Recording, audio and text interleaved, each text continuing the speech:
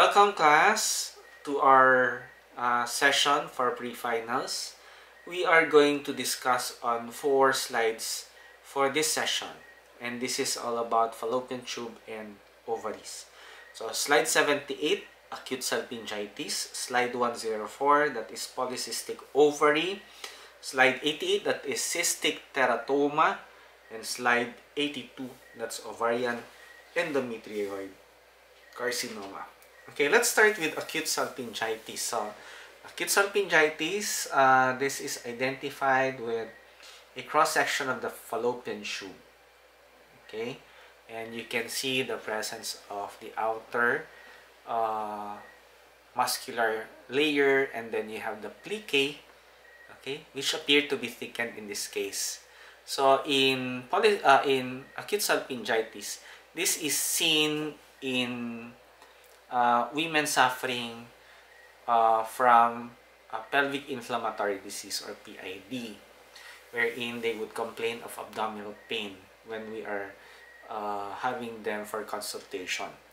And uh, this is associated with pyogenic organisms. Uh, some of them would be uh, sexually transmitted. We have the chlamydia trachomatis and Neisseria gonorrhea. So on a higher magnification, we would take note of the thickened plicae and then you would also see the presence of a mixture of inflammatory cells.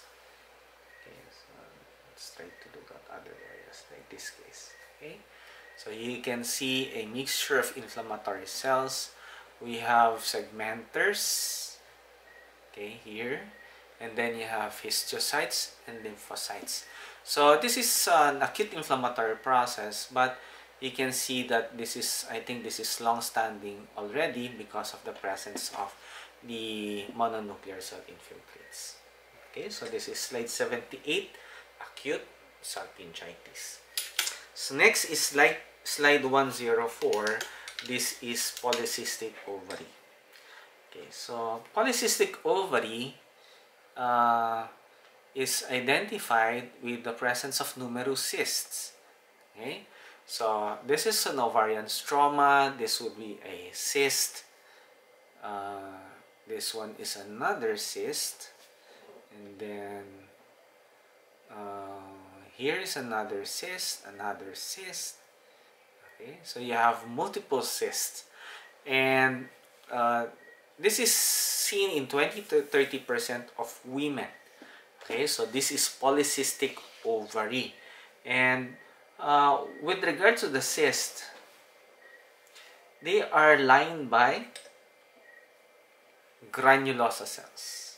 Okay. high power magnification for you to be able to appreciate them. Okay so these are the granulosa cells. Okay there.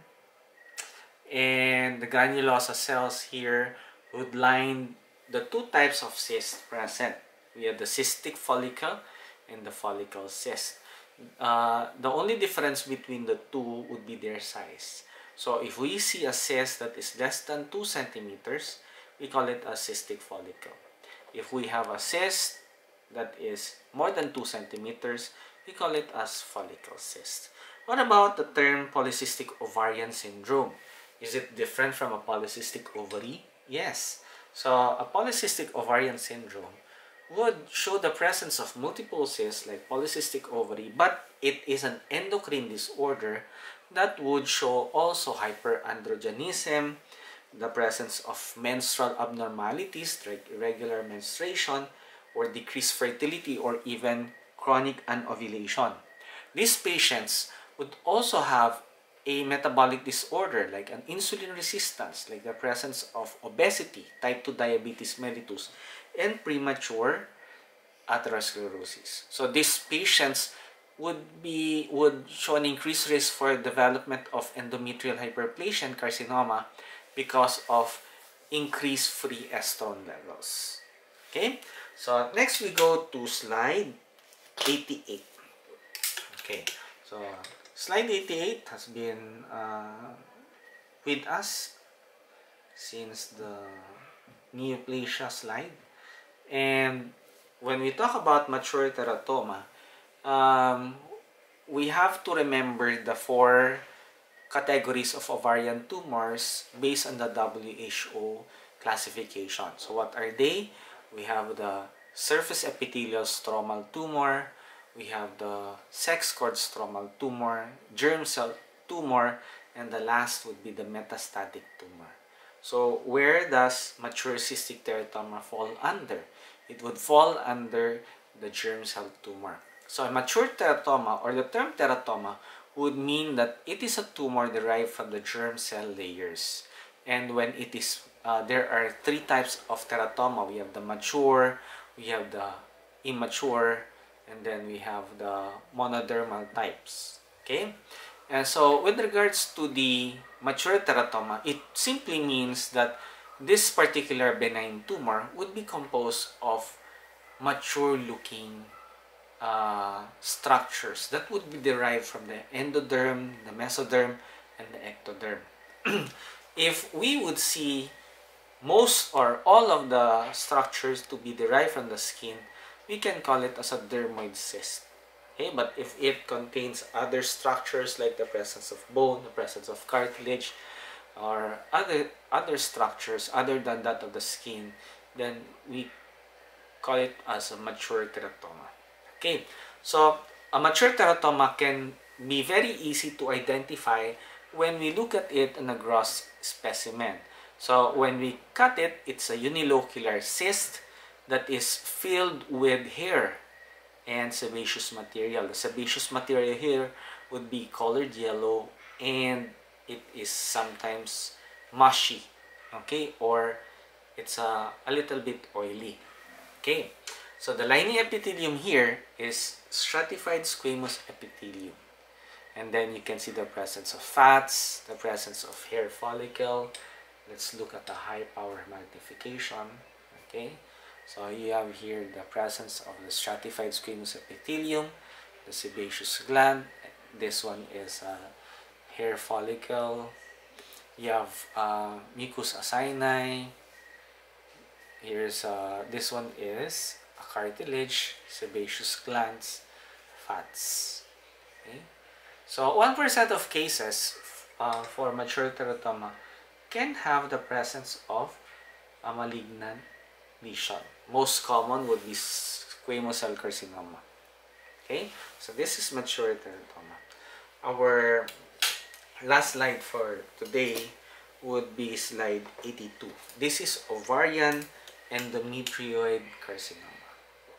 Okay, so if you remember what I've uh, told you, uh, you have to differentiate this one from the endometrioid carcinoma of the endometrium because they are similar. Okay, so under what category uh, does this particular tumor fall under? It would fall under the surface epithelial stromal tumor. Again, surface epithelial stromal tumor. So, when we have the endometrioid uh, uh, term, it means that it would show the presence of tubular glands. Okay, it would show the presence of tubular glands that would resemble the endometrial glands. Okay, so you have tubular glands that would resemble endometrial glands. So this is an endometrioid adenocarcinoma. So uh, it can arise in 15 to 20 percent uh, from an endometriotic area and uh, 15 to 30 percent of endometrioid carcinomas of the ovary would be associated with a synchronous tumor from the endometrium. Okay, so it means that we have an endometrial carcinoma and an ovarian carcinoma, both of the same type, that is endometrioid. Uh, the good thing about this one is that it is primary. Okay, both are primary, none are metastatic. So that would be a good thing, but it's a uh, good thing because both are primary, but a bad thing because the patient has malignancy. Okay, Uh, with regards to mutations, it is associated with the similar genetic mutations as what we have learned with endometrioid carcinoma of the endometrium. PTEN would be present. Uh, P, uh, P53, those of the PI, uh, PI, uh, uh, PI3, 3K, uh, PAK3 uh, pathway. We have PIK3CA, ARID1A, KRAS. Uh, they are mutated in this particular case.